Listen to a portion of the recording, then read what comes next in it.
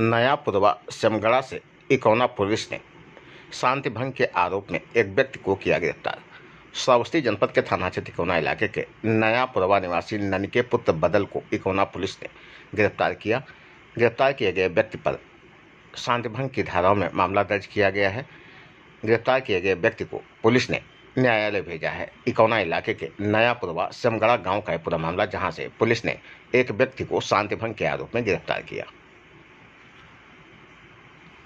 Bypass स्थित LIC कार्यालय के सामने से कोचिंग पढ़ने आए छात्र की साइकिल हुई चोरी, करतूत हुई सीसीटीवी कैमरा में कैद।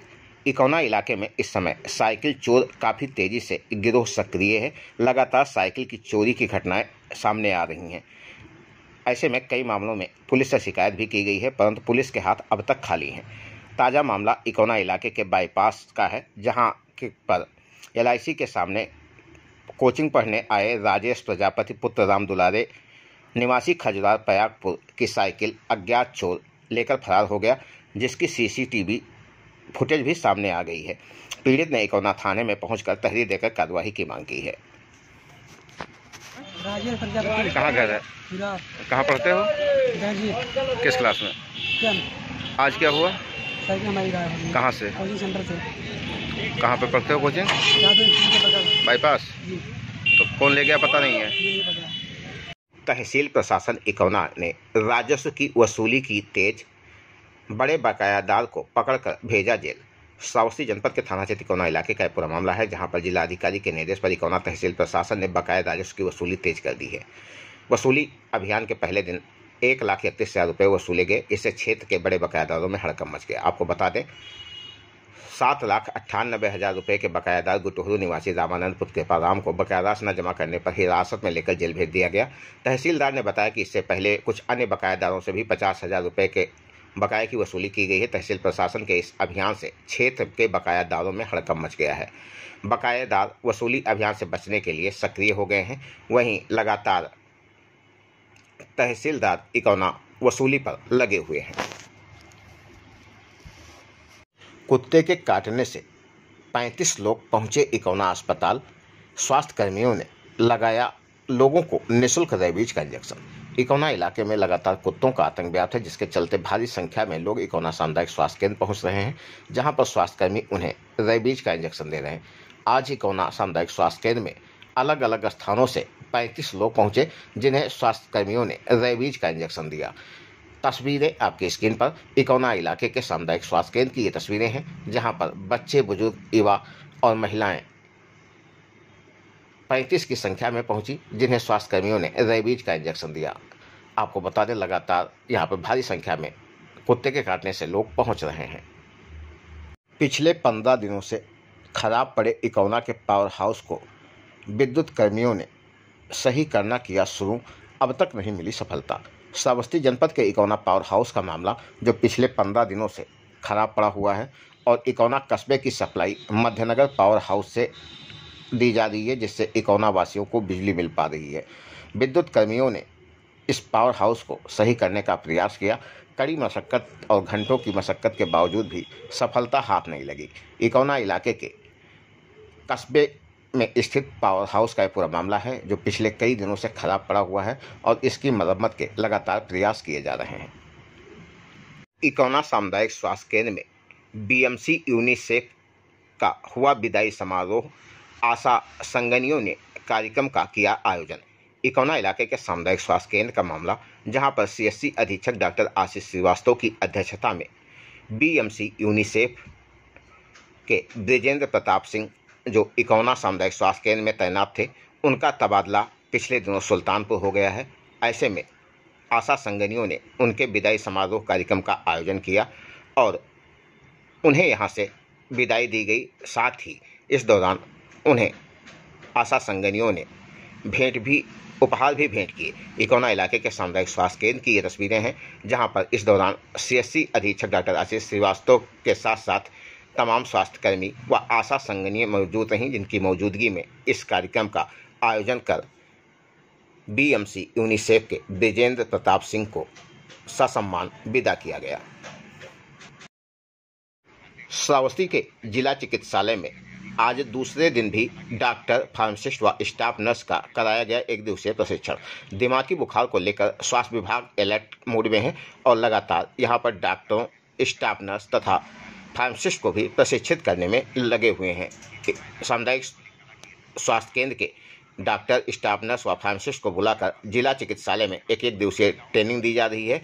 आज दूसरे दिन भी यहाँ पर ट्रेनिंग दिलाई गई, जिसमें अलका पांडे, अर्चना, बबीता, श्याम के सारिका, कंचन, सुनीता गोस्वामी, निशा, गीता, स्मिता आदि लोग मौजूद हैं जिनकी मौजूदगी में एक दिवसीय दिमागी बुखार पर विशेष प्रशिक्षण देते हुए तमाम तरह की जानकारी डॉक्टर फार्मासिस्ट व स्टाफ नर्स को दी गई।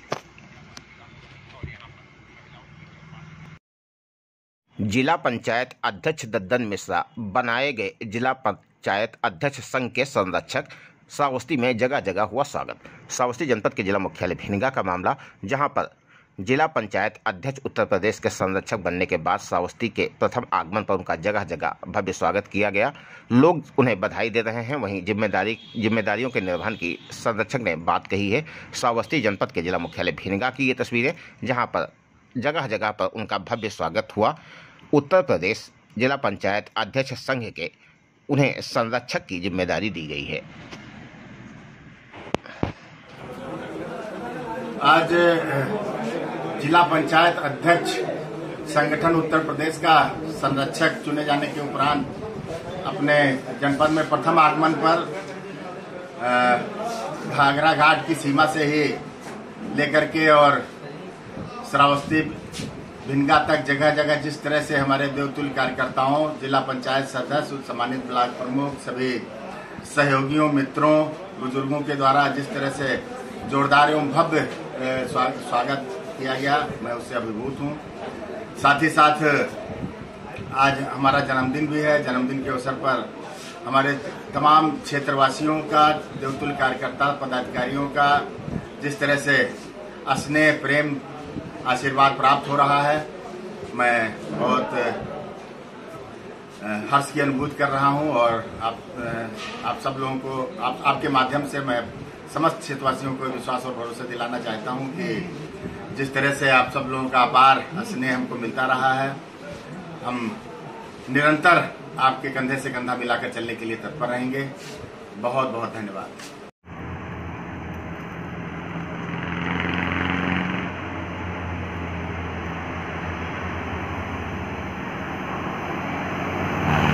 कलेक्ट्रेट सभागार में मुख्य विकास अधिकारी की अध्यक्षता में उद्योग बंधु की बैठक का किया गया आयोजन। श्रावस्ती जनपद के जिला मुख्यालय भीनगा का मामला, जहाँ पर भिनगा जिला मुख्यालय कलेक्ट्रेट सभागार में जिला विकास अधिकारी ईशान प्रताप सिंह की अध्यक्षता में उद्योग बंद की बैठक संपन्न हुई, जिसमें उत्तर प्रदेश उद्योग व्यापार प्रतिनिधि मंडल के युवा जिला अध्यक्ष आलमगीर ने व्यापारियों से संबंधित समस्याओं को अवगत कराया। साथ ही इस दौरान ज़िले के आए हुए अन्य व्यापारियों ने भी अपनी अपनी समस्याओं से अधिकारी को अवगत कराया।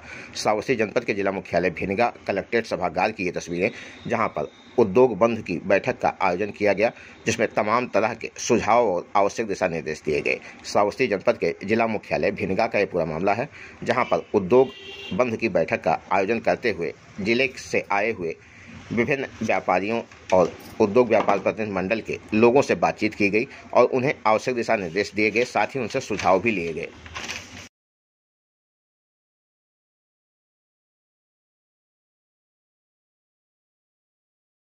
शक्ति मोबाइल की टीम पहुँची इकौना इलाके के कस्तूरबा गांधी आवासीय बालिका विद्यालय। यहाँ पर पढ़ने वाली छात्राओं को किया जागरूक। शक्ति मोबाइल द्वारा थाना से तिकोना इलाके के कस्तूरबा गांधी आवासीय बालिका विद्यालय में पहुंचकर छात्रों की संख्या, उनके खान पान रहन सहन साफ़ सफ़ाई की व्यवस्था देखी गई व बालिकाओं को उनके अधिकारों के बारे में जागरूक करते हुए सुरक्षा एवं आत्मनिर्भरता के लिए बनाए गए कानून व नियमों के संबंध में जानकारी दी गई। इस दौरान महिला उप निरीक्षक अर्चना सिंह, महिला कांस्टेबल पूजा आदि लोग मौजूद नहीं, जिनकी मौजूदगी में विद्यालय में पहुंचकर व्यवस्थाओं का निरीक्षण किया गया तथा यहाँ पढ़ने वाली छात्राओं व अध्यापिकाओं को तरह तरह की जानकारी देते हुए उन्हें जागरूक किया गया। श्रावस्ती जनपद के इकौना इलाके के मझौआ सुमाल में स्थापित कस्तूरबा आवासीय बालिका कॉलेज की ये तस्वीरें हैं, जहाँ पर पहुंचकर महिलाओं, कर्मियों ने लोगों को जागरूक किया।